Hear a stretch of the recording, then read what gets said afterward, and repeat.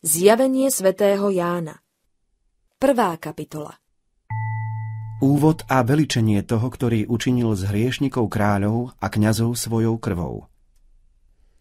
Zjavenie Ježiša Krista, ktorému dal Boh, aby ukázal svojim sluhom, čo sa musí udiať na skore, a on pošlúc ho po svojom anielovi ukázal v znameniach svojmu sluhovi Jánovi, ktorý svedčil slovo Božie a svedectvo Ježiša Krista a všetko, čo videl – Blahoslavený, kto číta, a tí, ktorí čujú slová tohoto proroctva a ostríhajú to, čo je napísané v ňom, lebo čas je blízko.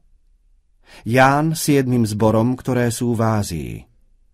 Milosť vám a pokoj od toho, ktorý je, ktorý bol a ktorý príde, a od siedmých duchov, ktorí sú pred jeho trónom, a od Ježiša Krista, ktorý je verný svedok prvorodený z mŕtvych a knieža kráľov zeme. Tomu, ktorý nás zamiloval a umil nás od našich hriechov svojou krvou a učinil nás kráľmi a kňazmi Bohu a svojmu Otcovi, jemu sláva a sila na veky vekov. Ameň. Hľa, ide.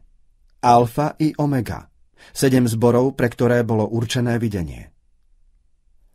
Hľa prichádza s oblakmi a uvidí ho každé oko, aj tí, ktorí ho prebodli a nariekať budú nad ním všetky pokolenia zeme. Áno, ameň. Ja som alfa i omega, počiatok i koniec, hovorí pán, Boh, ktorý je a ktorý bol a ktorý príde, ten všemohúci. Ja, Ján, i váš brat, i spolúčastník v súžení, i v kráľovstve, i v trpezlivosti Ježiša Krista, bol som na ostrove, ktorý sa volá Patmos, pre slovo Božie a pre svedectvo Ježiša Krista. Bol som v duchu v deň pánov a počul som za sebou veľký hlas ako hlas trúby, ktorý hovoril Ja som alfa i omega, prvý aj posledný. A čo vidíš, píš do knihy a pošli si jedným zborom, ktoré sú v Ázii. Do Efezu, do Smyrny, do Pergamu, do Tiatír, do Sárt, do Filadelfie a do Laodicei. Podobný synovi človeka. Sedem hviezd. Sedem svietnikov. A obrátil som sa, aby som videl hlas, ktorý hovoril so mnou. A keď som sa obrátil, videl som sedem zlatých svietnikov a v prostriedku medzi siedmimi svietnikmi som videl podobného synovi človeka, oblečeného v dlhom rúchu až po nohy a prepásaného na prsiach zlatým pásom.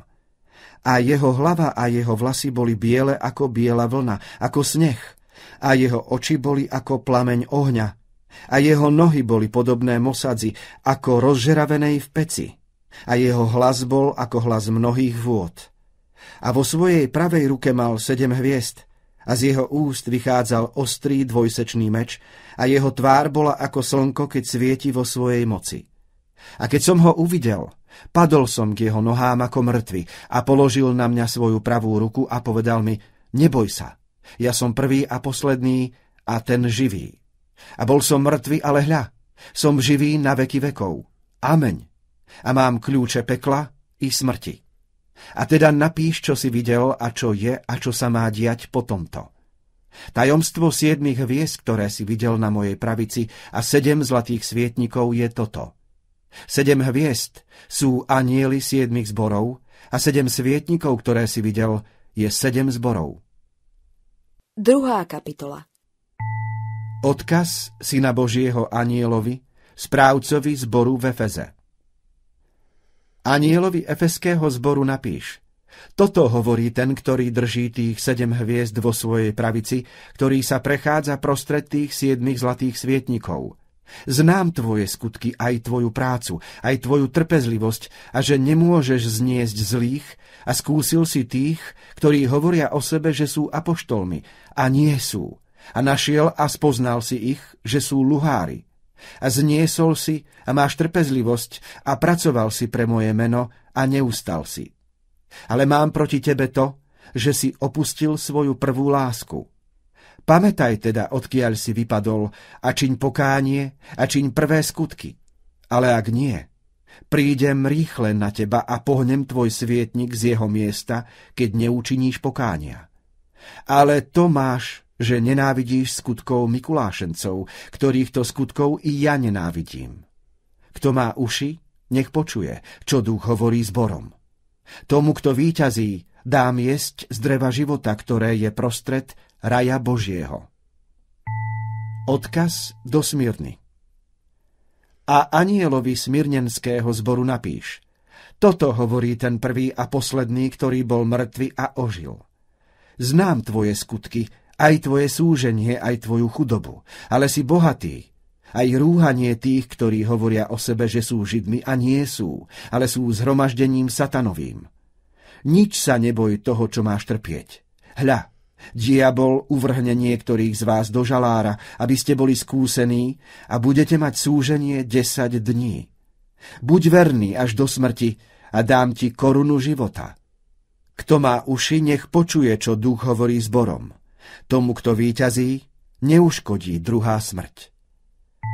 Odkaz do Pergamu A anielovi zboru v Pergame napíš. Toto hovorí ten, ktorý má ten dvojsečný meč ostrý. Znám tvoje skutky aj to, kde bývaš, kde je trón satanov a držíš moje meno a nezaprel si mojej viery ani vo dňoch, v ktorých svedčil Antipas, môj verný svedok, ktorého zabili u vás, kde býva Satan. Ale mám niečo málo proti tebe, že tam máš tých, ktorí držia učenie Balámovo, ktorý učil Baláka, ako položiť úraz pred synov Izraelových, aby jedli obetované modlám a smilnili. Tak máš aj ty takých, ktorí držia učenie Mikulášencov, čo ho nenávidím. Teda čiň pokánie, ale ak nie, prídem rýchle na teba a budem s nimi bojovať mečom svojich úst. Kto má uši, nech počuje, čo duch hovorí zborom. Tomu, kto víťazí, dá mu jesť zo skrytej manny dá mu biely kamienok a na kamienku napísané nové meno, ktorého nevie nikto, iba ten, kto ho berie. Odkaz do Tiatír A anielovi zboru v Tiatíroch napíš, toto hovorí syn Boží, ktorý má svoje oči ako plameň ohňa a ktorého nohy sú podobné mosadzi. Znám tvoje skutky, aj tvoju lásku, aj službu, aj vernosť, aj trpezlivosť, aj tvoje skutky, aj tie posledné, ktorých je viac ako prvých. Ale mám niečo málo proti tebe, že necháš ženu Jezábeľ, ktorá hovorí o sebe, že je prorokyňou, učiť a zvádzať mojich sluhov, aby smilnili a jedli obetované modlám. A dal som jej čas, aby učinila pokánie zo svojho smilstva, ale neučinila pokánia. Hľa, ja ju hodím na ležisko i tých, ktorí cudzoložia s ňou do veľkého súženia, keď neučinia pokánia zo svojich skutkov. I jej deti pobijem smrťou a zvedia všetky zbory, že ja som, ktorý spitujem ľadviny a srdcia a dám vám jednému každému podľa vašich skutkov. Ale vám hovorím, aj ostatným v Tiatíroch, všetkým, ktorí nemajú toho učenia a ktorí nepoznali hlbín satanových, ako hovoria, nevskladám na vás iného bremena. Avšak čo máte, držte, dokiaľ neprídem. A tomu, kto výťazí a kto ostríha až do konca moje skutky, tomu dám moc nad pohanmi a bude ich pásť železným prútom, ako hrnčiarske nádoby budú roztrieskaní, ako som i ja prijal od svojho otca a dám mu rannú hviezdu. Kto má uši, nech počuje, čo duch hovorí zborom.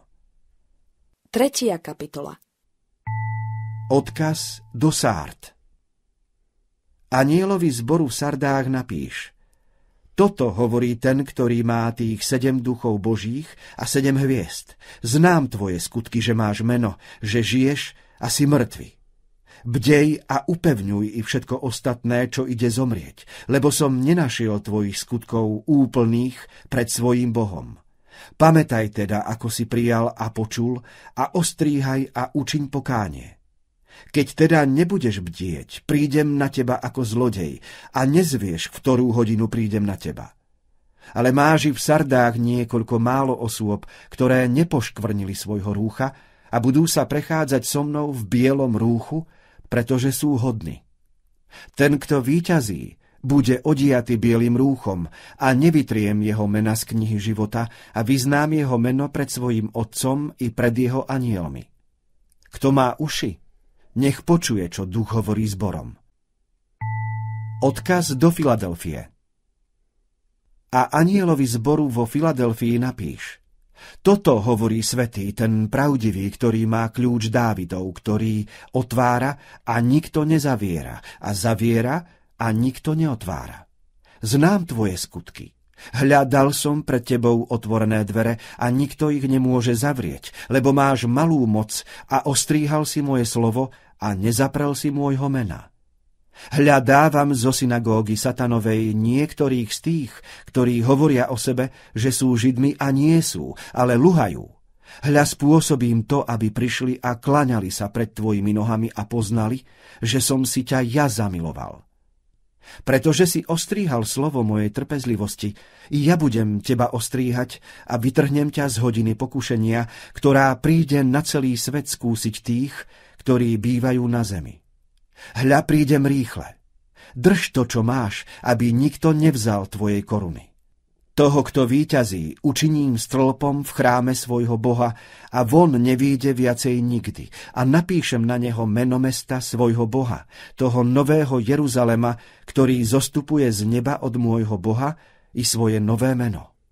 Kto má uši, nech počuje, čo duch hovorí zborom. Odkaz do Laodiceji A anielovi zboru Laodičanov napíš – toto hovorí Ameň, ten verný a pravdivý svedok, počiatok stvorenia Božieho. Znám tvoje skutky, že nie si ani studený, ani horúci. Bárs by si bol studený alebo horúci. Takto, že si vlažný, ani studený, ani horúci. Vyplujem ťa zo svojich úst.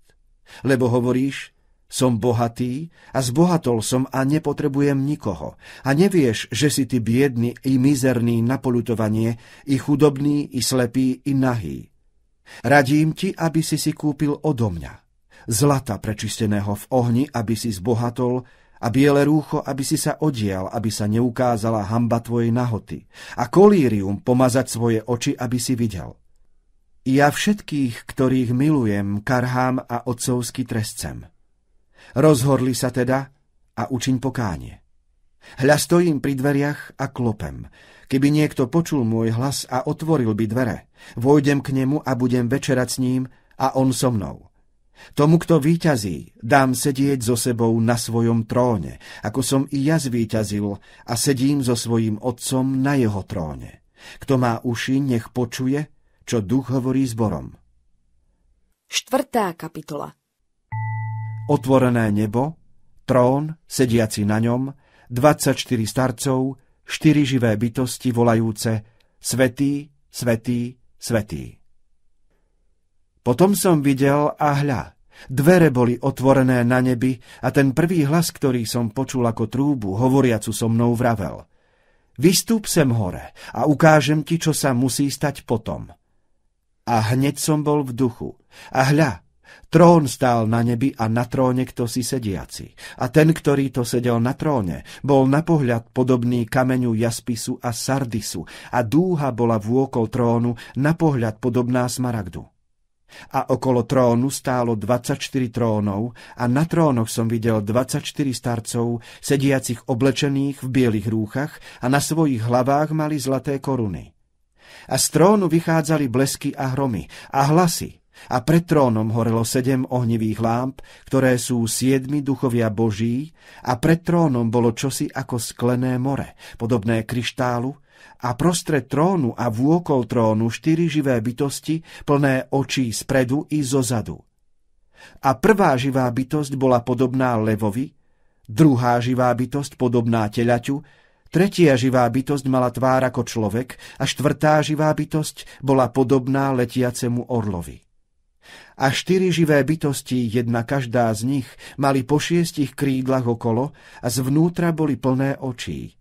A nemajú odpočinku ani vodne, ani v noci a hovoria Svetý, svetý, svetý, Pán Boh Všemohúci, ktorý bol, ktorý je a ktorý príde. A keď dajú živé bytosti sediacemu na tróne, živému na veky vekov slávu a česť a vďaku, Padnú 24 starci pred sediacim na tróne a budú sa klaňať živému na veky vekov a hodia svoje koruny pred trónom hovoriac Hoden si, pane a náš Bože, vziať slávu a česť a moc, lebo Ty si stvoril všetky veci a pre Tvoju vôľu sú a boli stvorené. 5. kapitola Zapečatená kniha.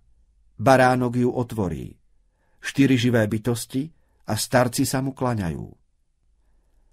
A videl som na pravici sediaceho na tróne knihu, popísanú zvnútra i zozadu, zapečatenú siedmimi pečaťami. A videl som silného aniela, ktorý hlásal veľkým hlasom, kto je hoden otvoriť knihu a zrušiť jej pečate. A nikto nemohol na nebi, ani na zemi, ani pod zemou otvoriť knihu, ani nazrieť do nej. A ja som veľmi plakal, že sa nikto nenašiel, hoden otvoriť a prečítať knihu, ani nazrieť do nej. A jeden zo starcov mi povedal, Neplač, hľa zvíťazil lev z pokolenia Júdovho, koreň Dávidov, aby otvoril knihu a zrušil jej sedem pečatí.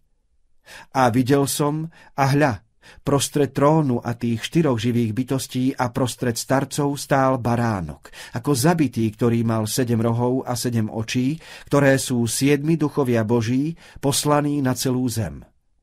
A prišiel a vzal knihu z pravice toho, ktorý to sedel na tróne. A keď vzal knihu, štyri živé bytosti a 24 starci padli pred baránkom, majúc každý harfu a zlatú čašu, plnú kadiva, čo sú modlitby svetých, a spievali novú pieseň a hovorili – Hoden si vziať knihu a otvoriť jej pečate, lebo si bol zabitý a vykúpil si nás Bohu svojou krvou z každého pokolenia a z každého jazyka, ľudu a národa a učinil si nás našemu Bohu kráľmi a kňazmi a budeme kráľovať na zemi. Myriady anielov okolo trónu, veleslávený od všetkého stvorenstva – a videl som a počul hlas mnohých anielov okolo trónu a okolo živých bytostí a okolo starcov. A ich počet bol myriady myriád a tisíce tisícov, ktorí hovorili veľkým hlasom, hoden je baránok ten zabitý, vziať moc a bohatstvo a múdrosť a vládu a česť a slávu a dobrorečenie. A každé stvorenie, ktoré je na nebi a na zemi a pod zemou a na mori a všetko, čo je v nich, počul som hovoriť sediacemu na tróne a baránkovi dobrorečenie a česť a sláva a sila na veky vekov. A štyri živé bytosti vraveli Ameň. A 24 starci padli a klaňali sa živému na veky vekov. 6. kapitola Každé otvorenie pečate uvádza nový dej. Prvá pečať. Bielý kôň. A videl som, keď otvoril baránok jednu zo siedmých pečatí a počul som jednu zo štyroch živých bytostí, ktorá hovorila ako hlasom hromu. Poď a vic. A videl som a hľa. Bielý kôň a ten, ktorý sedel na ňom, mal lučište a dala sa mu koruna a vyšiel víťaziac, aj aby zvíťazil. Červený kôň. A keď otvoril druhú pečať, počul som druhú živú bytosť, ktorá vravela poď a vic. A vyšiel iný kôň, červený. A tomu, ktorý sedel na ňom, dalo sa, aby vzal pokoj zo zeme, aby sa ľudia navzájom zabíjali a dal sa mu veľký meč. Čierny kôň.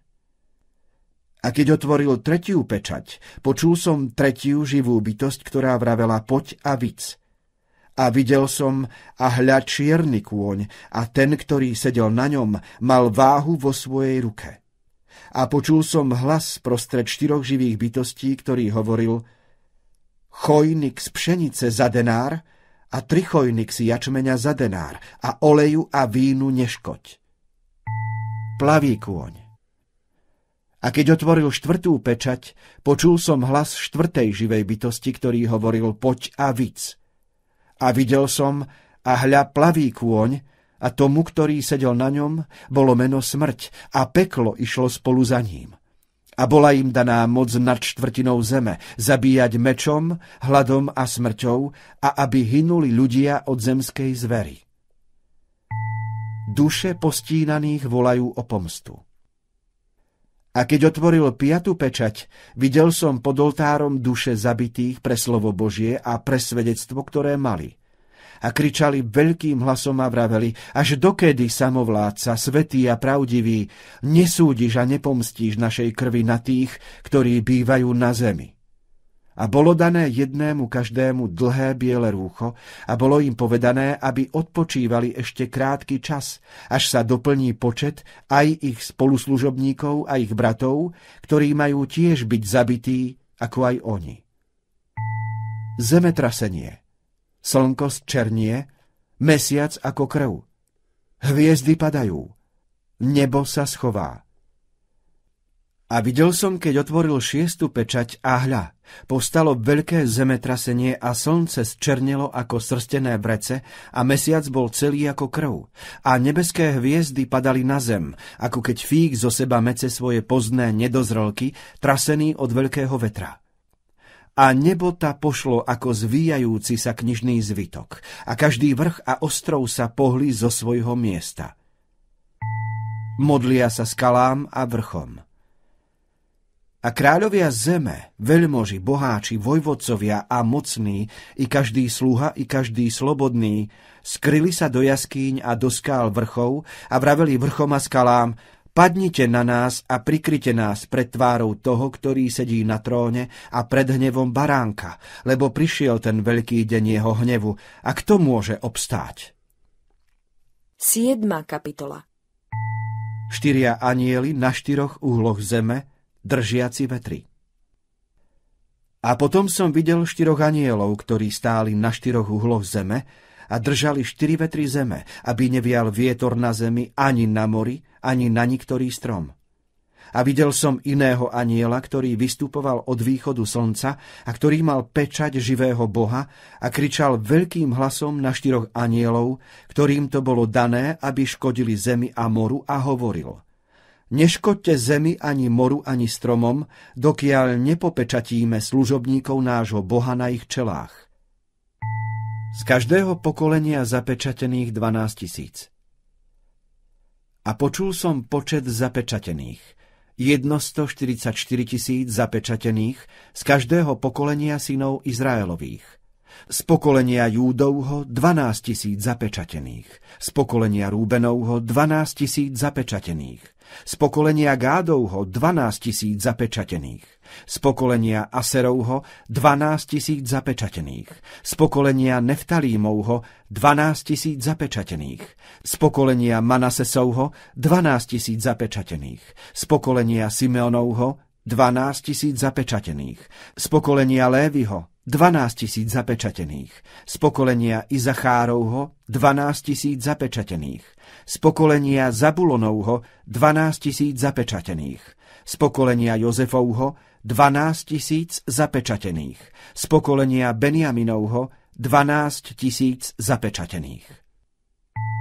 Nesčíselný zástup pred trónom potom som videl a hľa, veľký zástup, ktorý nemohol nikto spočítať, z každého národa a zo všetkých pokolení a ľudí a jazykov, ktorí stáli pred trónom a pred baránkom, oblečení v dlhom bielom rúchu a palmy v ich rukách a kričali veľkým hlasom a hovorili Spasenie nášmu Bohu, sediacemu na tróne a baránkovi. A všetci anieli stáli okolo trónu a okolo starcov a okolo štyroch živých bytostí a padli pred trónom na svoju tvár a klaňali sa Bohu a hovorili Ameň. Dobrorečenie a sláva a múdrosť a vďaka a česť a moc a vláda našemu Bohu na veky vekov. Ameň. Z veľkého súženia. A jeden zo starcov odpovedal a riekol mi – kto sú títo oblečení v tom dlhom bielom rúchu a odkiaľ prišli? A ja som mu povedal, pane, ty vieš. A riekol mi, toto sú tí, ktorí prišli z toho veľkého súženia a oprali svoje rúcha a zbielili ich v krvi baránkovej.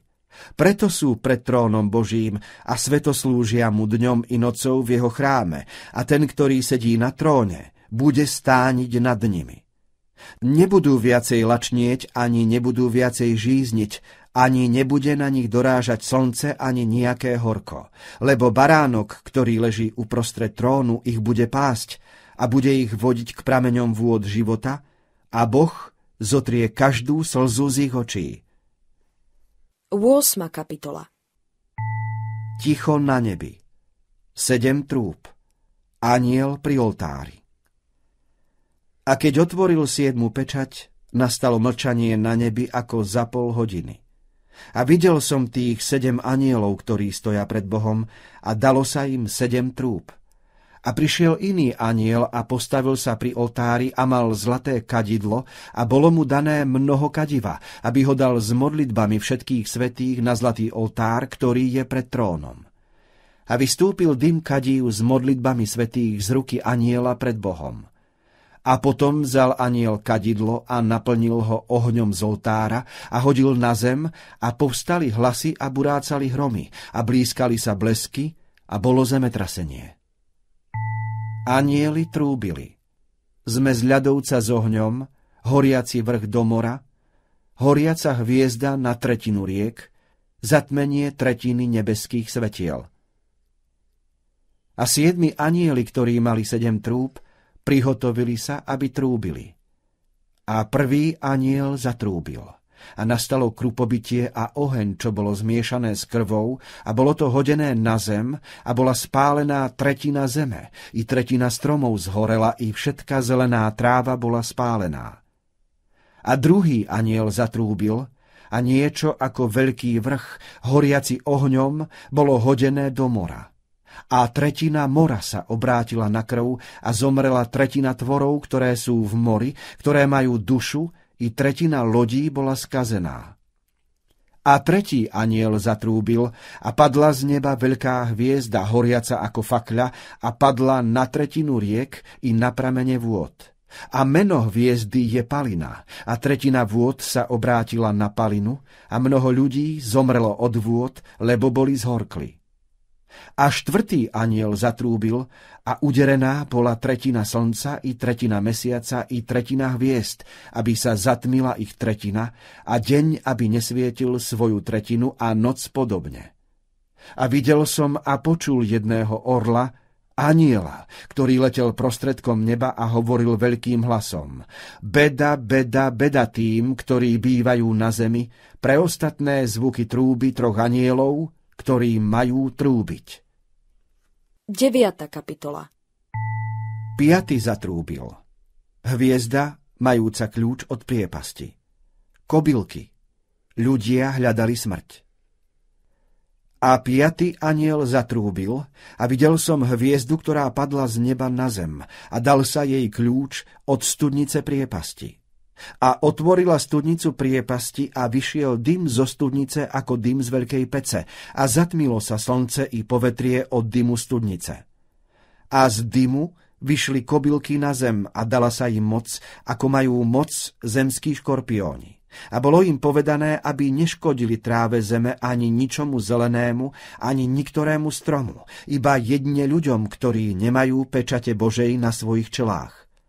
A bolo im dané, aby ich nezabíjali, ale aby boli mučení 5 mesiacov.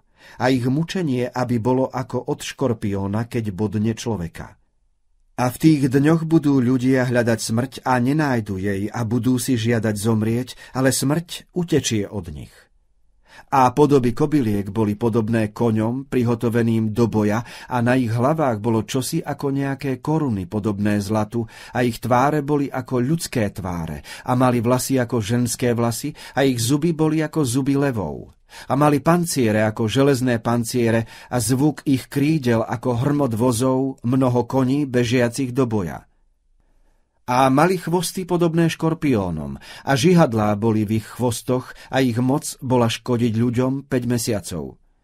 A majú nad sebou kráľa, aniela priepasti, ktorému je hebrejské meno Abaddon a v gréckom jazyku má meno Apolion, zhubca. Jedno beda pominulo a hľa, za týmto príde ešte dvoje beda.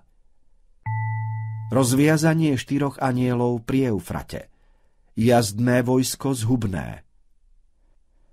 A šiestý aniel zatrúbil a počul som jeden hlas zo štyroch rohov zlatého oltára, ktorý stál pred Bohom, ktorý to hlas hovoril šiestemu anielovi, ktorý mal trúbu. Rozviaž tých štyroch anielov, poviazaných pri veľkej rieke Eufrate a boli rozviazaní štyria anieli, ktorí boli prihotovení na hodinu a na deň a na mesiac a na rok, aby pobili tretinu ľudí. a počet vojsk tej jazdy bol dve myriady myriád. Počul som ich počet. A tak som videl kone vo videní aj tých, ktorí sedeli na nich, ktorí mali ohnivé panciere a hyacintové a sírové. A hlavy koní boli ako hlavy levov a z ich úst vychádzal oheň, dym a síra. Od toho trojeho bola pobytá tretina ľudí, od ohňa, dymu a od síry, ktoré vychádzali z ich úst. Lebo moc koní je v ich ústach a ich chvostoch, lebo ich chvosty sú podobné hadom a majú hlavy a nimi škodia. Ale ľudia nerobili pokáňa. A ostatní ľudia, ktorí neboli pobytí ranami, ani neurobili pokánia zo skutkov svojich rúk, aby sa neklaňali démonom a modlám, zlatým a strieborným, medeným a kamenným a dreveným, ktoré nemôžu ani vidieť, ani počuť, ani chodiť, ani neurobili pokánia zo svojich vrážd, ani zo svojich čarov, ani zo svojho smilstva, ani zo svojich krádeží. Desiata kapitola Aniel stojaci na zemi a na mori. Ján nesmel písať. Už nebude času. A videl som iného aniela silného, zostupujúceho z neba, odiatého oblakom a na jeho hlave bola dúha a jeho tvár bola ako slnce a jeho nohy ako ohnivé stĺpy. A vo svojej ruke mal otvorenú knižku. A svoju pravú nohu položil na more a ľavú na zem. A skríkol veľkým hlasom, ako keď reve lev. A keď skríkol, prehovorilo sedem hromov svoje hlasy. A keď dohovorilo sedem hromov svoje hlasy, chcel som písať. Ale som počul hlas z neba, ktorý mi hovoril, zapečať to, čo hovorilo sedem hromov a nepíš toho. A aniel, ktorého som videl stáť na mori a na zemi, pozdvihol svoju pravú ruku k nebu a prisahal na živého na veky vekov, ktorý stvoril nebo i to, čo je v ňom, a zem i to, čo je na nej, a more i to, čo je v ňom, že už viac nebude času. Ale v dňoch hlasu siedmeho aniela, keď bude trúbiť, dokoná sa tajomstvo Božie, ako to zvestoval svojim sluhom prorokom. Ján dostane rozkaz zjesť knihu. A hlas, ktorý som bol počul z neba, zase hovoril so mnou a povedal, choď a vezmi otvorenú knižku, ktorá je v ruke aniela, ktorý stojí na mori a na zemi. Vtedy som odišiel k anielovi a povedal som mu, aby mi dal knižku. A on mi povedal, vezmi a zjedz ju a spôsobí ti horkosť v bruchu, ale v tvojich ústach bude sladká ako med. A vzal som knižku z ruky aniela a zjedol som ju. A bola v mojich ústach sladká ako med. Ale keď som ju zjedol, zhorklo moje brucho. A povedal mi, musíš zase prorokovať proti ľuďom a národom a jazykom a mnohým kráľom. 11. kapitola Meranie chrámu A bola mi daná trstina, podobná prútu, a aniel stál a povedal – Vstaň a zmeraj chrám Boží, aj oltár, aj tých, ktorí sa modlia v ňom. A dvor, ktorý je zvonku chrámu, vyhoď von a nemeraj ho, lebo je daný pohanom, i to sveté mesto budú šliapať 42 mesiacov. Dvaja svetkovia Boží podľahnú v boji so šelmou. Ich vzkriesenie. A dám svojim dvom svetkom a budú prorokovať 1260 dní, oblečení v smútočných vreciach. Toto sú tie dve olivy a dva svietniky, ktoré stoja pred Bohom, pánom zeme. A keby im chcel niekto ublížiť, výjde oheň z ich úst a zožerie ich nepriateľov, a keby im chcel niekto ublížiť, musí byť tak zabitý. Tí majú moc a právo zavrieť nebo, aby nepršal dážď v dňoch ich proroctva. A majú moc nad vodami, aby ich obrátili na krv a byli zem každou ranou, koľkokoľvek ráz by chceli. A keď dokonajú svoje svedectvo, šelma, ktorá vystupuje z priepasti, bude bojovať s nimi a zvíťazí nad nimi a zabije ich a ich mŕtve telá budú ležať na ulici toho veľkého mesta, ktoré sa duchovne volá Sodoma a Egypt, kde bol i náš pán ukrižovaný. A mnohí z ľudí a z pokolení a z jazykov a národov budú vidieť ich mŕtve telá tri a pol dňa a nedovolia pochovať ich mŕtve telá do hrobu. A obyvatelia zeme sa budú radovať nad nimi a budú sa veseliť a budú si navzájom posielať dary, lebo títo dvaja proroci trápili bývajúcich na zemi. Ale po tých troch a pol dňa vošiel do nich duch života od Boha a stali na svoje nohy a veľká bázeň padla na tých, ktorí ich videli. A počuli veľký hlas z neba, ktorý im hovoril, vystúpte sem hore. A vystúpili do neba v oblaku a ich nepriatelia hľadeli na nich. A v tú hodinu povstalo veľké zemetrasenie a desiata čiastka mesta padla a v tom zemetrasení bolo pobyté sedem tisíc ľudí a ostatní sa nastrašili a vzdali slávu Bohu neba. Druhé beda pominulo, hľa tretie beda príde skoro. Siedmy aniel zatrúbi a Kristus prevezme kráľovstvo. Starci ho velebia. A siedmy aniel zatrúbil a povstali veľké hlasy na nebi, ktoré hovorili Kráľovstvá sveta sa stali kráľovstvami nášho pána a jeho Krista a bude kráľovať na veky vekov. A 24 starci, ktorí sedia pred Bohom na svojich trónoch, padli každý na svoju tvár a klaňali sa Bohu a hovorili Ďakujeme ti, pane, všemohúci Bože, ktorý si a ktorý si bol a ktorý prídeš, pretože si prevzal svoju veľkú moc a kráľuješ. A rozhnevali sa národy a prišiel tvoj hnev a čas mŕtvych, aby boli súdení, ako i čas dať odplatu tvojim sluhom, prorokom a svetým a tým, ktorí sa boja tvojho mena, malým i veľkým, aby boli skazení tí, ktorí kazia zem. A otvoril sa chrám Boží, ktorý je na nebi, a ukázala sa truhla jeho zmluvy v jeho chráme a povstalo blízkanie a zazneli hlasy a zaburácali hromy a bolo zemetrasenie a veľké krupobytie. 12. kapitola Žena odiata slnkom a jej nepriateľ drak. A ukázal sa veľký div na nebi. Žena odiata slnkom a mesiac bol pod jej nohami a na jej hlave koruna dvanástich hviezd. A súd tehotná kričala v pôrodných bolestiach a trápila sa majúc porodiť. A ukázal sa aj iný div na nebi. A hľa, veľký drak červený, ktorý mal sedem hlav a desať rohov a na svojich hlavách mal sedem diadémov a jeho chvost vliekol tretinu nebeských hviezd a vrhol ich na zem. A drak sa postavil pred ženu, ktorá mala porodiť, aby keď porodí, hneď zožral jej dieťa. A porodila syna, chlapca, ktorý bude pásť všetky národy železným prútom a jej dieťa bolo vytrhnuté k Bohu a k jeho trónu. A žena utiekla na púšť, kde má miesto pripravené od Boha, aby ju tam živili 1260 dní. Boj Michala s drakom žalobníkom A povstal boj na nebi. Michal a jeho anieli bojovali proti drakovi a bojoval i drak a jeho anieli. Ale nezvládali, ani ich miesto sa viacej nenašlo na nebi. Zvrhnutý bol veľký drak, ten starý had, ktorý sa volá diabol a satanáš, ktorý zvodí celý svet. Zvrhnutý bol na zem a jeho anieli boli zvrhnutí s ním.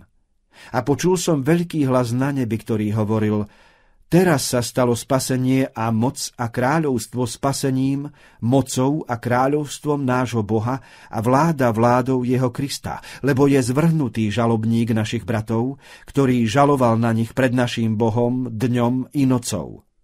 A oni zvíťazili nad ním pre krv baránkovu a pre slovo svojho svedectva a nemilovali svojej duše až do smrti. Preto sa veselte, nebesia, a ktorí stánete v nich – Beda tým, ktorí bývajú na zemi a na mori, lebo zostúpil k vám diabol, ktorý má veľký hnev, lebo vie, že má krátky čas. Drak obráti svoj hnev proti žene, ktorej pomôže zem. A keď videl drak, že je zvrhnutý na zem, honil ženu, ktorá porodila toho chlapca. Ale žene sa dali dve krídla toho veľkého orla, aby odletela na púšť na svoje miesto, kde ju budú živiť čas a časy a polčasu preč od tvári hada.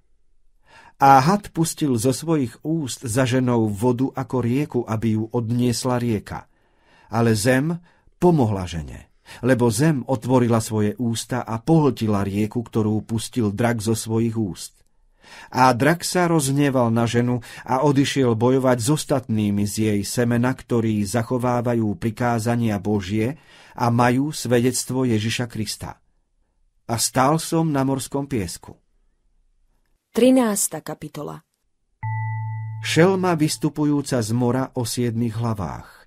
Jedna hlava zbytá na smrť, potom uzdravená. Svet sa klania drakovi.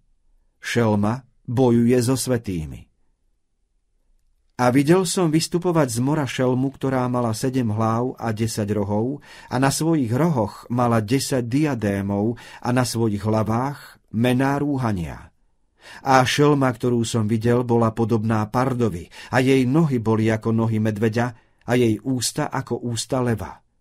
A drak jej dal svoju moc, i svoj trón, i veľkú právomoc.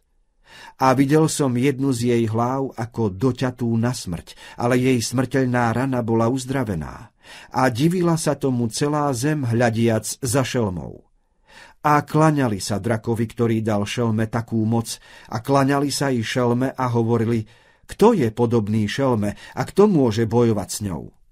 A boli jej dané ústa, ktoré hovorili veľké veci a rúhania, a bola jej daná moc, aby trvala 42 mesiacov.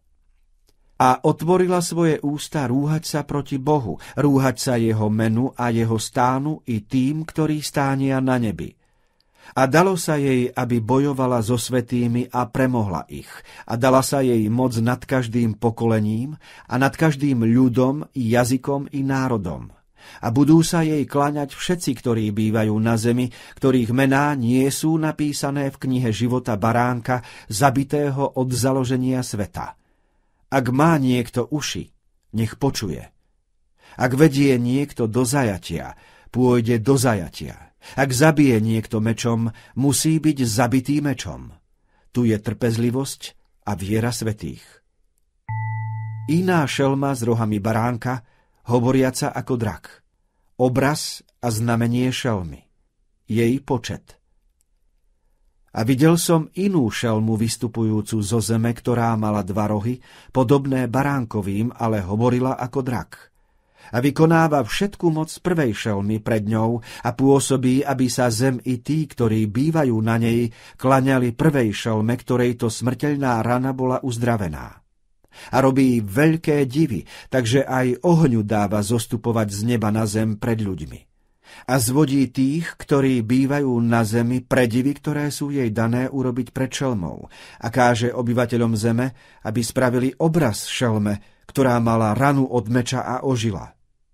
A bolo jej dané, aby dala ducha obrazu šelmy, aby aj hovoril obraz šelmy a aby urobila to, aby všetci, ktorí by sa neklaňali obrazu šelmy, boli pobytí. A pôsobí to, aby všetkým, malým i veľkým, bohatým i chudobným, slobodným i sluhom, dali rité znamenie na ich pravú ruku alebo na ich čelo a aby nikto nemohol ani kúpiť, ani predať, iba ten, kto má znamenie alebo meno šelmy, alebo počet jej mena.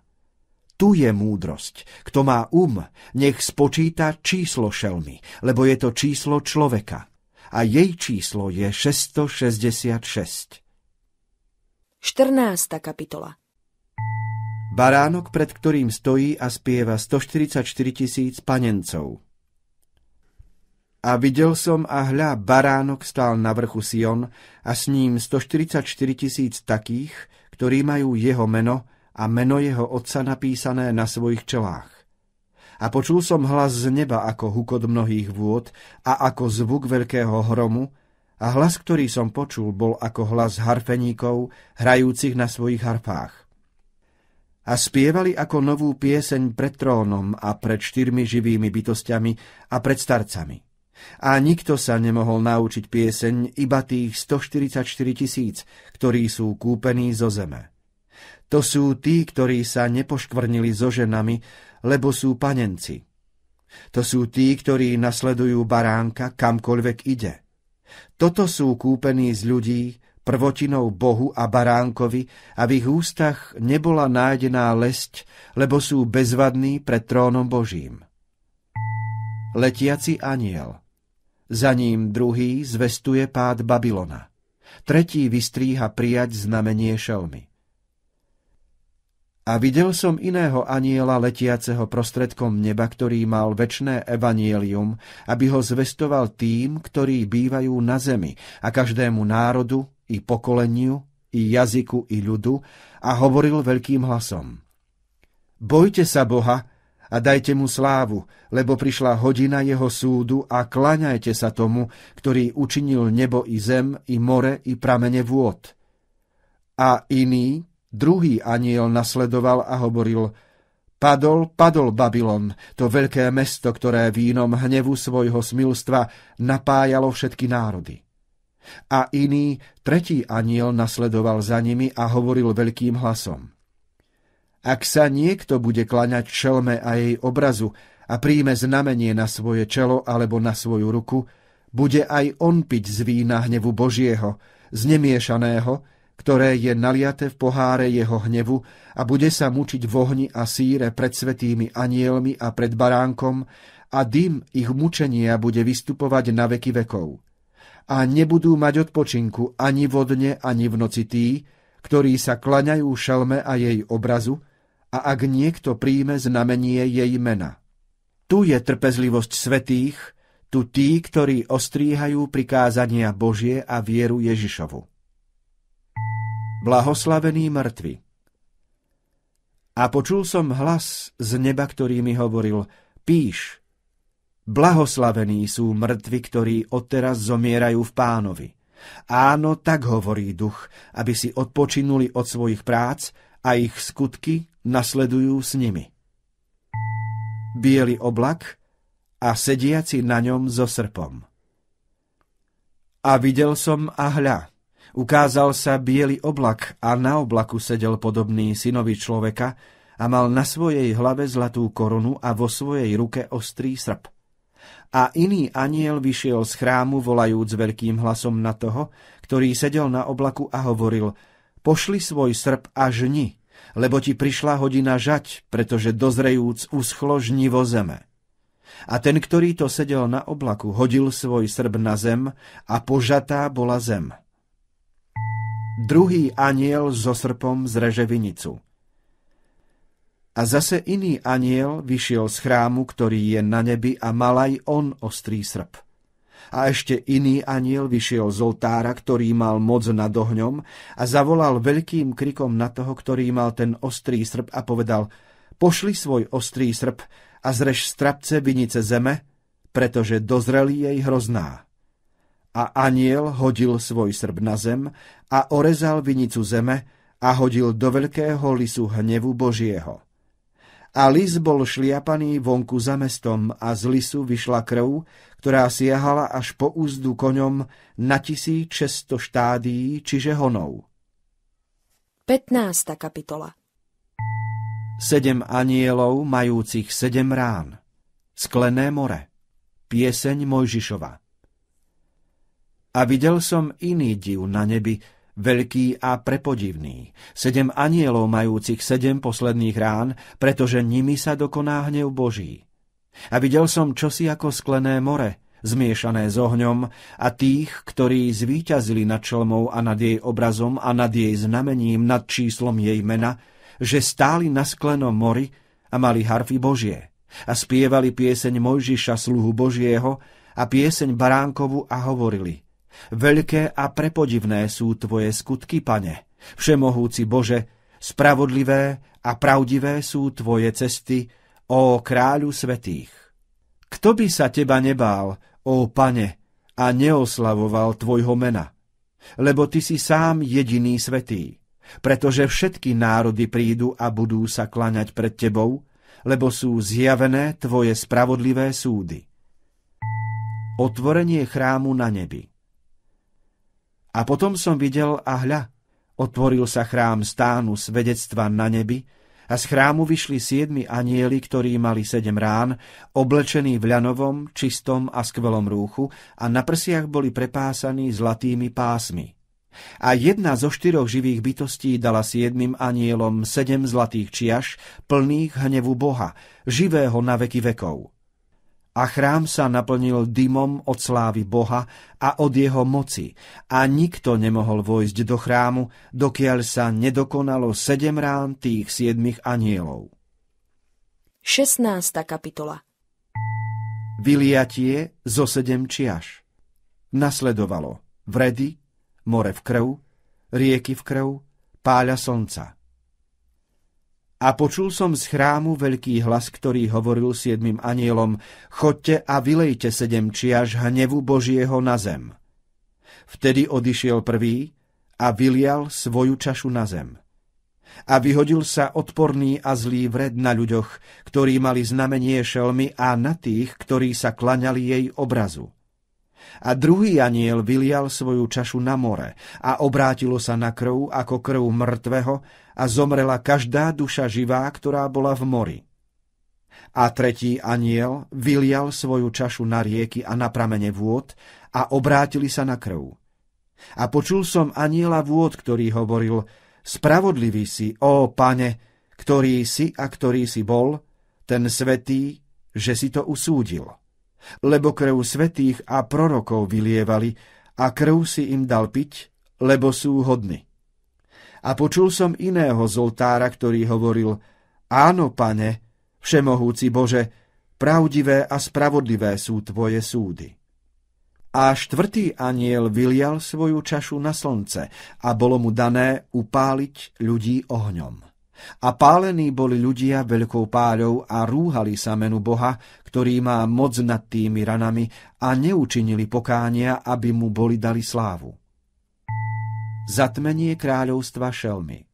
Kúsali si jazyky, ale nečinili pokánia. Eufrat sa vysušil na cestu kráľom. A piaty aniel vylial svoju čašu na trón šelmy a jej kráľovstvo stalo sa zatemneným. A kúsali si jazyky od bolesti a rúhali sa Bohu neba od svojich bolestí a od svojich vredov, ale neučinili pokánia zo svojich skutkov. A šiestý aniel vylial svoju čašu na veľkú rieku Eufrates a vyschla jej voda, aby sa prihotovila cesta kráľom od východu slnca.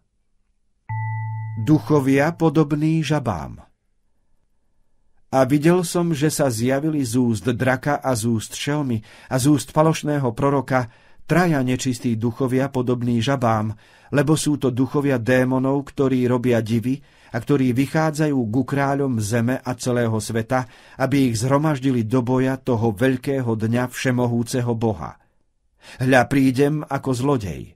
Blahoslavený, kto bdie a ostríha svoje rúcho, aby nechodil nahý a aby nevideli jeho hamby a zhromaždili ich na miesto, ktoré sa volá hebrejsky Harmageddon. Čaša vyliata na povetrie, nesmierne zemetrasenie. Veľké mesto sa roztrhne. Babylon príde na pamäť. Ľadovec. A siedmy aniel vylial svoju čašu na povetrie a vyšiel veľký hlas z nebeského chrámu od trónu a povedal, stalo sa. A povstali hlasy a hromy a blesky a povstalo veľké zemetrasenie, akého nebolo odvtedy, odkedy je človek na zemi. Tak nesmierne veľkého zemetrasenia. A to veľké mesto sa roztrhlo na tri čiastky a mestá národov padli. I veľký Babylon prišiel na pamäť pred Bohom, aby mu dal pohár vína prchlivosti svojho hnevu. A zmizli všetky ostrovy a vrchy sa nenašli. A na ľudí padal z neba veľký ľadovec ako centy. A ľudia sa rúhali Bohu pre ranu ľadovca, lebo bola veľmi veľká. 17. kapitola Odsúdenie veľkej smilnice opitej krvou svetých. Aniel vysvetľuje, kto a čo je to. A prišiel jeden zo siedmých anielov, ktorí to mali tých sedem čiaž, a prehovoril so mnou a riekol mi, Poď, ukážem ti odsúdenie tej veľkej smilnice, ktorá sedí na mnohých vodách, s ktorou smilnili kráľovia zeme a spili sa vínom jej smilstva obyvatelia zeme. A zaniesol ma v duchu na púšť. A videl som ženu, ktorá sedela na šarlátovej šalme, ktorá bola plná rúhavých mien a mala sedem hlav a desať rohov. A žena bola odiata purpurom a šarlátom a bola pokrytá zlatom a ozdobená drahým kamením a perlami a vo svojej ruke mala zlatý pohár plný ohavností a nečistoty svojho smilstva a na svojom čele mala napísané meno tajomstvo, veľký Babylon, mater smilníc a ohavností zeme. A videl som ženu, že bola opitá z krvi svetých a z krvi svetkov Ježišových. A keď som ju videl, náramne som sa divil. A aniel mi povedal, prečo sa divíš? Ja ti poviem tajomstvo ženy aj šelmy, ktorá ju nesie a ktorá má sedem hlav a desať rohov. Šelma, ktorú si videl, bola a nie je a má výjsť z priepasti a ísť do zatratenia. A budú sa diviť obyvatelia zeme, ktorých mená nie sú zapísané v knihe života od založenia sveta, keď budú vidieť čelmu, že bola a nie je, a keď zase tu bude. Tu je zmysel, ktorý má múdrosť. Sedem hlav je sedem vrchov, na ktorých sedí žena. A je sedem kráľov. Päť ich padlo a jeden je, ten druhý ešte neprišiel. A keď príde, musí trochu potrvať. A šelma, ktorá bola a nie je, aj ona sama, je u osmým a je z tých siedmých a ide do zatratenia. A desať rohov, ktoré si videl, je desať kráľov, ktorí ešte nedostali kráľovstva, ale moc ako kráľovia dostanú jednej hodiny spolu so šelmou. Tí majú jednu myseľ a svoju moc a svoje právo dajú šelme. Tí budú bojovať s baránkom a baránok zvíťazí nad nimi, pretože je pánom pánov a kráľom kráľov, aj tí, ktorí sú s ním, povolaní, vyvolení a verní. A povedal mi, vody, ktoré si videl, kde sedí smilnica, sú ľudia, zástupy, národy a jazyky. A desať rohov, ktoré si videl, i šelma, Tí budú nenávidieť smilnicu a spustošia ju a obnažia a budú jesť jej mesá a ju spália ohňom. Lebo to Boh dal do ich srdca, aby vykonali jeho úmysel a aby prišli na jednu mienku a dali svoje kráľovstvo šelme, dokiaľ by sa nevykonali slová Božie. A žena, ktorú si videl, je to veľké mesto, ktoré má kráľovstvo nad kráľmi zeme. 18. kapitola Pád Babylona. Kvílenie nad ním. Radosť na nebi. Potom som videl iného aniela zostupujúceho z neba, ktorý mal veľkú moc a zem bola osvietená od jeho slávy. A skríkol silne veľkým hlasom a hovoril, padol, Padol veľký Babylon a stal sa bývaniskom démonov a žalárom každého ducha nečistého a žalárom každého vtáka nečistého a nenávideného, lebo z vína prchlivosti jeho smilstva pili všetky národy a kráľovia zeme smilnili s ním a kupci zeme zbohatli z moci jeho buje. A počul som iný hlas z neba, ktorý hovoril, vidíte z neho, môj ľude, aby ste sa nezúčastnili jeho hriechov a aby ste nedostali z jeho rán. Lebo jeho hriechy dosiahli až do neba a Boh sa rozpamätal na jeho neprávosti. Odplatte mu, ako aj on vám platil a dajte mu dvojnásobne podľa jeho skutkov. Do pohára, do ktorého nalieval, nalejte mu dvojnásobne. Nakoľko sa oslávil a zbújnel, toľko mu dajte múk a žiaľu, lebo hovorí vo svojom srdci, Sedím, kráľovná, a nie som vdovou a žiaľu neuvidím nikdy. Preto jedného dňa prídu jeho rany, smrť a žiaľ a hlad a bude spálený ohňom, lebo je silný pán Boh, ktorý ho súdi. A budú plakať za ním a kvíliť budú nad ním kráľovia zeme, ktorí s ním smilnili a rozkošili v buji, keď budú vidieť dym jeho požiaru, stojať zďaleka pre bázeň jeho múk a budú hovoriť Beda, beda veľké mesto, to silné mesto Babylon, že v jednej hodine prišiel jeho súd. Aj kupci zeme budú plakať a žialiť nad ním, pretože nikto viac nekúpi ich tovaru, tovaru zlata a striebra a drahého kameňa, periel, kmentu, purpuru, hodvábu, šarlátu a všelijakého dreva tinového, všelijakých nádob zo slonovej kosti a všelijakého náradia z najdrahšieho dreva, z medi, zo železa a z mramoru a škorice a rozváňajúceho amónu, tymianu a vzácnej masti a libánskeho kadiva, vína a oleja a jemnej múky pšeničnej, pšenice a dobytka a oviec a koní a vozov a otrokov a ľudských duší. A ovocie žiadosti tvojej duše odišlo od teba, i všetko tučné a nádherné, zhynulo a bolo odňaté od teba a už toho viac nikdy nenájdeš. Kupci s tými vecami, ktorí boli zbohatli z neho, budú stáť zďaleka pre bázenie jeho múk, plačúc a žalostiac a budú hovoriť beda, beda to veľké mesto, ktoré bolo odiate kmentom, purpurom a šarlátom a bolo pokryté zlatom a drahým kamením a perlami, že v jednej hodine je spustošené také veľké bohatstvo. A všetci kormidelníci a všetci, ktorí sa plavia na lodiach a plavci a všetci, ktorí robia na mori, budú stáť zďaleka a budú kričať, keď budú vidieť dym jeho požiaru a budú hovoriť, kde ktoré mesto bolo kedy podobné tomu veľkému mestu. A sypali prach na svoje hlavy a kričali, plakali, žialili a hovorili, beda, beda to veľké mesto, v ktorom zbohatli všetci, ktorí mali lode na mori, z jeho drahocennosti, že tak v jednej hodine spustlo. Veseľ sa nad ním nebo, i vysvetí a apoštolovia a proroci, pretože Boh vykonal váš súd na ňom. A jeden silný aniel zodvihol kameň ako veľký žrnov a hodil ho do mora a povedal, tak prudko bude zvrhnutý Babylon, to veľké mesto, a viacej sa nikdy nenájde. A nikdy viacej sa nepočuje v tebe hlas harfeníkov a iných hudobníkov, pískačov a trubačov. A viac nikdy sa nenájde v tebe nejaký remeselník nejakého remesla, ani sa viacej nepočuje v tebe hukot mlyna, ani už nikdy viac nezasvieti v tebe svetlo sviece, ani sa viacej nepočuje v tebe hlas ženícha a nevesty, pretože tvoji kupci boli veľmožmi zeme, pretože tvojimi čarami zvedené boli do bludu všetky národy. A našla sa v ňom krv prorokov a svetých, a všetkých pobytých na zemi. 19.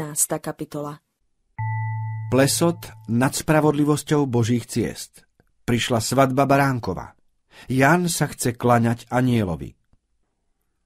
Potom som počul z ťa veľký hlas mohutného zástupu na nebi, ktorý hovoril Haleluja! Spasenie a sláva a česť a moc pánovi nášmu Bohu, pretože pravdivé a spravodlivé sú jeho súdy, lebo odsúdil veľkú smilnicu, ktorá porušovala zem svojím smilstvom a pomstil krv svojich sluhov na jej ruke. A povedali aj po druhé, Haleluja! A jej dym vystupuje na veky vekov. A padli 24 starci aj štyri živé bytosti a klaňali sa Bohu, sediacemu na tróne a povedali Ameň, Haleluja! A z trónu vyšiel hlas, ktorý povedal Chváľte našeho Boha, všetci jeho sluhovia, aj vy, ktorí sa ho bojíte, malí aj veľkí. A zase som počul ako hlas mnohého zástupu a ako hukot mnohých vôd a ako zvuk silných hromov, ktoré hovorili Haleluja! Pretože prevzal kráľovstvo pán, náš Boh, ten všemohúci. Radujme sa a plesajme a vzdajme jemu chválu, lebo prišla svadba Baránkova a jeho manželka sa prihotovila. A dalo sa jej, aby sa obliekla do čistého a nádherného kmentu, lebo tým kmentom sú skutky spravodlivosti svetých. A riekol mi, píš, blahoslavený povolaný k večeri svadby Baránkovej. A zase mi riekol, to sú pravdivé slová Božie. A ja som padol k jeho nohám, aby som sa mu klaňal. Ale on mi povedal, hľaď, neurob toho. Som tvoj spolusluha a tvojich bratov, ktorí majú svedectvo Ježišovo. Bohu sa klaňaj, lebo svedectvom Ježišovým je duch proroctva. Bielý kôň, slovo Božie, jeho boj, šelma i falošný prorok, uvrhnutý do ohnivého jazera. A videl som nebo otvorené a hľa zjavil sa biely kôň a ten, ktorý sedel na ňom, volal sa verný a pravdivý a v spravodlivosti súdi i bojuje. A jeho oči boli ako plameň ohňa a na jeho hlave mnoho diadémov a mal napísané meno, ktorého nikto nevie, iba on sám. A bol oblečený v rúchu, pokropenom krvou a jeho meno sa nazýva Slovo Božie. A vojská, ktoré sú na nebi, išli za ním na bielých koňoch, odiaty kmentom, bielým a čistým a z jeho úst vychádzal ostrý meč, aby ním byl národy. A on ich bude pásť železným prútom a on bude šliapať lizví na prchlivosti a hnevu všemohúceho Boha. A na svojom rúchu a na svojich bedrách má napísané meno Kráľ kráľov a pán pánov. A videl som jedného aniela, ktorý stál v slnci a skríkol veľkým hlasom a povedal všetkým vtákom, lietajúcim prostredkom neba. Poďte a zhromaždite sa k veľkej večeri veľkého Boha. Aby ste jedli telá kráľov, telá tisícnikov, telá silných a telá koní a tých, ktorí sedia na nich, a telá všetkých, slobodných i sluhov, i malých i veľkých. A videl som šelmu a kráľov zeme aj ich vojská, zhromaždené bojovať s tým, ktorý to sedel na tom koni, aj s jeho vojskom. A lapená bola šelma a s ňou falošný prorok, ktorý robil pred ňou divy, ktorý mi zviedol do bludu tých, ktorí prijali znamenie šelmy a tých, ktorí sa klaňali jej obrazu. Tí dvaja boli hodení živí do ohnivého jazera horiaceho sírov. A ostatní boli pobití mečom toho, ktorý to sedel na tom koni, mečom vychádzajúcim z jeho úst. A všetko vtáctvo sa nasítilo ich tiel. 20. kapitola Aniel zviaže draka na tisíc rokov. A videl som aniela zostupujúceho z neba, ktorý mal kľúč od priepasti a na svojej ruke veľkú reťaz. A chopil draka toho starého hada, ktorý je diabol a satan, a poviazal ho na tisíc rokov a vrhol ho do priepasti a zavrel ho a zapečatil nad ním, aby viac nezvádzal národy, dokiaľ by sa nedokonalo tisíc rokov a potom musí byť prepustený na malý čas. Prvé vzkriesenie A videl som tróny a posadali sa na ne a dal sa im súd a videl som i duše postínaných pre svedectvo Ježišovo a pre slovo Božie, a ktorí sa neklaňali šelme ani jej obrazu a neprijali znamenia na svoje čelo ani na svoju ruku a ožili a kraľovali s Kristom tisíc rokov a ostatní mŕtvi neožili, až sa dokoná tisíc rokov. To je prvé vzkriesenie. Blahoslavený a svetý, kto má diel na prvom vzkriesení. Nad tými druhá smrť nemá moci, ale budú kňazmi Boha a Krista a budú s ním kráľovať tisíc rokov. Satan prepustený, jeho konečná porážka a tiež uvrhnutie do ohnivého jazera. A keď sa dokoná tých tisíc rokov, rozviazaný bude Satan a prepustený zo svojho žalára a výjde, aby zvádzal národy, ktoré sú na štyroch úhloch zeme, Góga a Magóga, aby ich zhromaždil do boja, ktorých počet je ako piesok mora.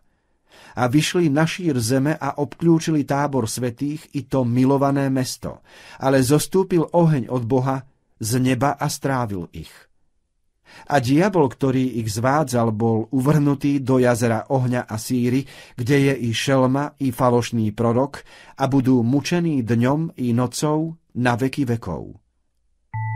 Súdny deň A videl som veľký trón biely i sediaceho na ňom, pred ktorého tvárou utiekla zem i nebo a miesto im nebolo nájdené. A videl som mŕtvych, malých i veľkých, stojacich pred trónom Božím – a otvorili sa knihy a otvorila sa aj iná kniha, to jest kniha života. A mŕtvi boli súdení podľa toho, čo bolo napísané v knihách, podľa svojich skutkov. A more vydalo mŕtvych, ktorí boli v ňom.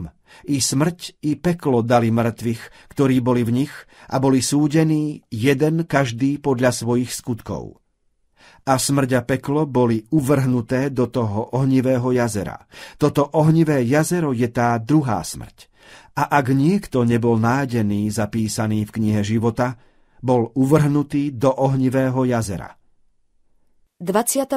kapitola Nové nebo a nová zem. Nový Jeruzalem a blaženstvo v ňom. Nekajúcnych zahynutie. A videl som nové nebo a novú zem, lebo prvé nebo a prvá zem boli pominuli a mora už nebolo. A ja, Ján, som videl to sveté mesto, nový Jeruzalem, zostupujúce od Boha z neba, prihotovené ako nevestu, ozdobenú jej mužovi. A počul som veľký hlas od trónu z neba, ktorý hovoril, hľa, stán Boží s ľuďmi a bude bývať s nimi a oni budú jeho ľudom a on, Boh, bude s nimi a bude ich Bohom. A Boh zotrie každú slzu z ich očí a smrti už viacej nebude, ani žalosti, ani kriku, ani bolesti viacej nebude, lebo prvé veci pominuli.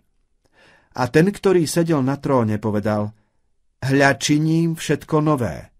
A riekol mi, píš, pretože tieto slová sú verné a pravdivé. A riekol mi, stalo sa. Ja som alfa i omega, počiatok i koniec. Ja dám tomu, kto žízni z prameňa vody života zadarmo. Kto víťazí, zdedí všetko a bude mu Bohom a on mi bude synom.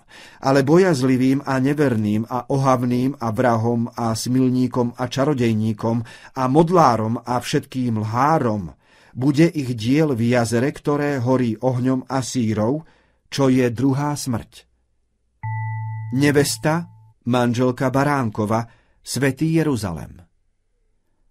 A prišiel ku mne jeden zo siedmých anielov, ktorý to mali tých sedem čiaž, plných sedem posledných rán, a prehovoril so mnou a povedal mi, poď, ukážem ti nevestu, manželku Baránkovu a zaniesol ma v duchu na veľký vrch a vysoký a ukázal mi to veľké mesto svätý Jeruzalem, zostupujúci od Boha z neba, ktorý má slávu Božiu a jeho svetlosť bola podobná najdrahšiemu kameňu, ako kameňu jaspisu kryštálovému.